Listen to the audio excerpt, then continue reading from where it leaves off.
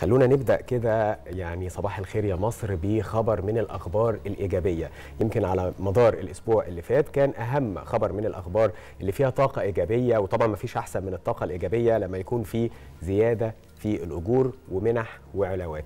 لو نفتكر من ثلاث أسابيع تحديدا كان في توجيه للسيد الرئيس عبد الفتاح السيسي بزيادة الحد الأدنى للأجور. امبارح مجلس الوزراء وافق على حزمة من القرارات اللي لها علاقة بزيادة الحد الأدنى لأجور الموظفين والعاملين في الدولة.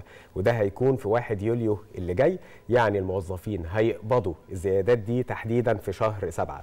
وده تنفيذا لتوجيهات السيد الرئيس عبد الفتاح السيسي بزيادة الحد الأدنى للأجور ل 2700 جنيه بزيادة 300 جنيه تقريبا.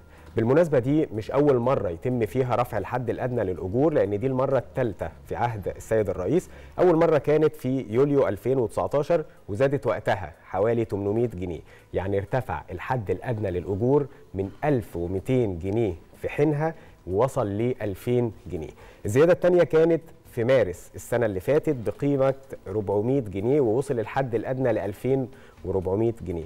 المرة دي تم زيادة الحد الأدنى 300 جنيه. ده بالنسبة للحد الأدنى للأجور للناس اللي كانت بتقبض أقل من المبلغ ده علشان يوصل ل 2700 جنيه. القرارات اللي وافقت عليها الحكومة مش بس زيادة أجور لأن كمان كان في إقرار علاوتين بتكلفة نحو 8 مليار جنيه. الأولى علاوة دورية للموظفين المخاطبين بقانون الخدمة المدنية ونسبتها 7% من الأجر الوظيفي. والثانية كانت علاوة خاصة للعاملين غير المخاطبين. بقانون الخدمة المدنية بنسبة بتقدر ب 13% من الراتب الأساسي. ده غير الزيادات والحوافز الإضافية اللي تكلفتها الإجمالية حوالي 18 مليار جنيه مصري.